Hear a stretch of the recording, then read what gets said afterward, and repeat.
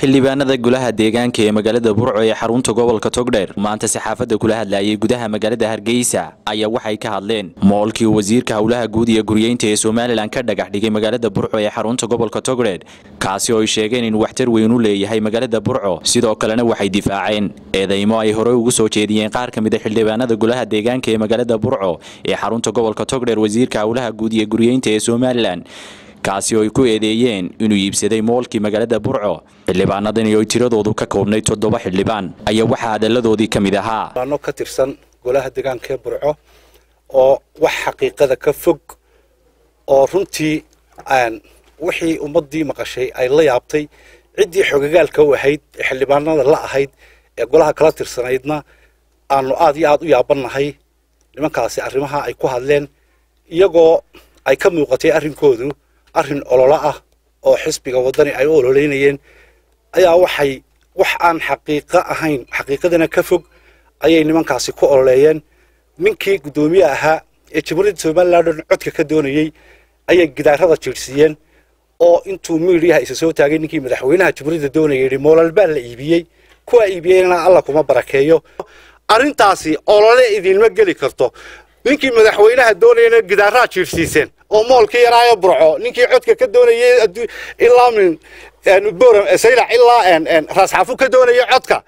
Waar gidaarkaad jiirsiiseen xaqiiqo waxaan ahayn baa u sheegteen. Arrintaasi waa arrin aad u xun olole ma geli karto. Xaafadihiibaa ku soo hoos noqoteen. Moolkaasi sharci buu ahaa. Sidiisiibuu ku socdaa. Wasiirada iyo madaxda ah fadeexadiseenna dee waa laydinka fadhiya waxaa kaloo runtii ceeb ah ninkii madaxweynaha doonayay ee dalka madaxweynaha ka doonayay inuu xildhibaano reerkiisa ku soo daba faylo oo idhaahdo moolkaasi waa waa mool la boobay. Arrintaas waa arrin fadeexada. Waxay u muuqataa inaanu ahayn ninkaasina nin ummadda ummaddu ay xil ku aamini karto. Wayna ogeyn markii hore meeshii lagu soo wareejiyey. Markuu soo galay in meeshii aanu lahayn waan ka hadlay mar hore. Xildhibaanadii laga soo doortay baa ayaa baneeyey oo ilaashanaya kuwii laga soo doorto annaga ayaa ilaashanayna waxaan leeyahay ninka yidhi cagaf baan gelinaya malaa waxaad moodaysaa iskuulkii siyaadi wama kalabe. Bal kuwaa geli marka hore. Waxaan ku soo gaba war guryaha markay tahay sidii ay ku binoobeen ee lagu dhisay markaanu idiin sheegno ee dadweynaha u soo gudbino saddex suuq baa madaxweynaha jamhuuriyadda somalilan soo sharciyeeye digreeto ku soo magacaabay in dadka bacadka fadhiya ee ku ganacsanaya bilicda magaaladana wax lagu soo kordhiyo. Iyaguna ay bacadka ka xaroodaan oo meel qurux badan oo magaalada maaragtay qurxinaysa ay ku ganacsadaan. Horumar magaaladaa bay ahayd. Runtii waxay noqotay markii annaka ay mool moolalka ka mid a haray dowladda hoose u fulisay. Horumarkii ka soconayey degmada burco ee lanoo doortay.